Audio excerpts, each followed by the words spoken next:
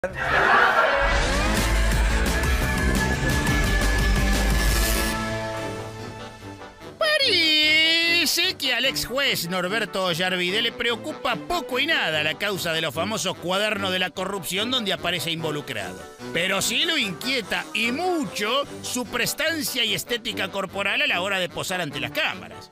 Camino a los tribunales para prestar declaración, el cuestionado hombre de leyes enfrentó un mar de periodistas a quienes les mostró los dientes. Eso sí, blanquitos, che, como de porcelana de baño, ¿eh? Por el caso de los cuadernos, declaran Ollarvide y Parrilli. O Ricardo Bocchini. ¿Se acuerdan de Ollarvide? el señor Rubio. Pintón el hombre. ¿eh? Ollarvide hizo declaraciones. Sí, porque yo vine un día, un día borracho, vine un día re loco. Salió con un bastón, ¿no? ¿Qué? Salió con un bastón, ¿no? Está saliendo el juez Ollarvide. A ver, vamos a, a preguntarle al juez. Buenas tardes. Atención, no, no, no, no, así no hablo, así no hablo. Stop, stop, stop. Al que se porte mal, este garrotazo por la cabeza. ¿eh? Es espectacular. Lo repito porque vale la pena. Al que se porte mal, este garrotazo por la cabeza. ¿eh? Ahí, ahí, garrote, garrote garrote. ¿Cómo amaneció? No, no, no, no, no, no.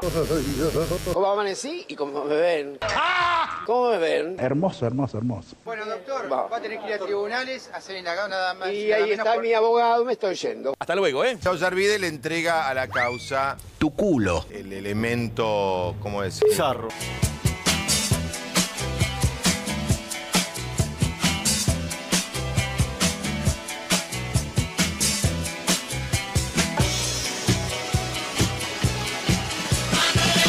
Mucha Recordemos- purpurina. Mucha purpurina. Recordemos que Poco, este y poca seriedad. Es la...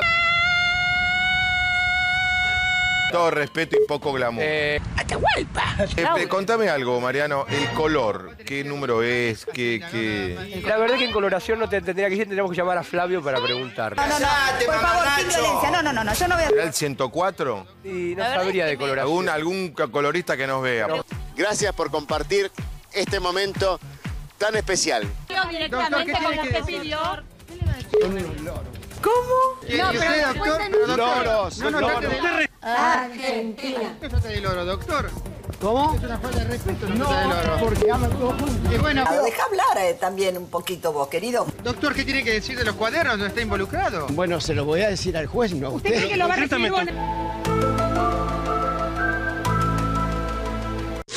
¿Me abrís? ¿Me abrís? ¿Me abrís? Y cuando llegó abrió y la estaban rompiendo. ¡Opa! ¿Pudo tener Una acceso colega a esta le... información? Abrime, che, abrime, che.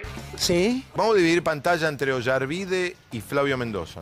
Es verdad. Acá me dicen que es el mismo tono. Viste cómo somos nosotros. Y la llegada del hombre del bastón a Comodoro Pi no fue menos caótica que su anterior aparición pública.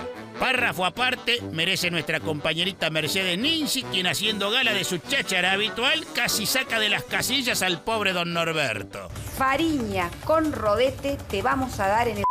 ¿Qué aparecen los cuadernos? ¿Qué tiene que ver con esta causa? ¿Esa es la única que habla? ¡Es insoportable! Qué bárbaro, bueno. Ya preguntaste. No preguntes más. Callate la boca. La causa está en secreto de sumario. ¿Sabe usted qué, qué significa la palabra secreto de sumario? ¿Sabe lo que significa? ¿Qué? No se puede hablar. Pero ¿qué expectativa tiene? Las expectativas que tengo son las expectativas que tiene cualquier persona que viene a prestar una declaración indagatoria.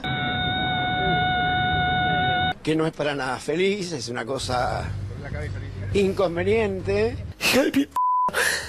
Y bueno, pero acá vengo a ponerle el pecho y las balas. Estoy empapando todo acá.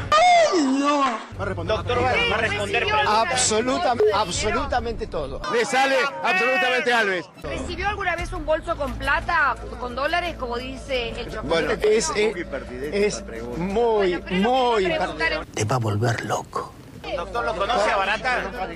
¿Y esto, esta puerta por qué no se abre? ¿Y esto, esta puerta por qué no se abre?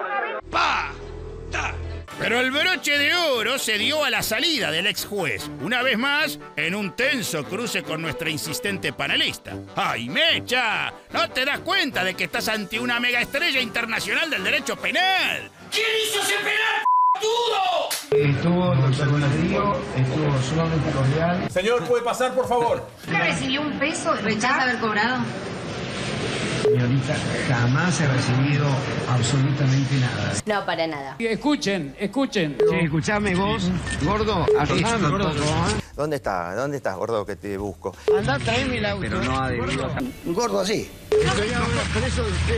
Y el alma policial entre vos. En realidad preferiría estar en cualquier lugar. O Ricardo Bocchini.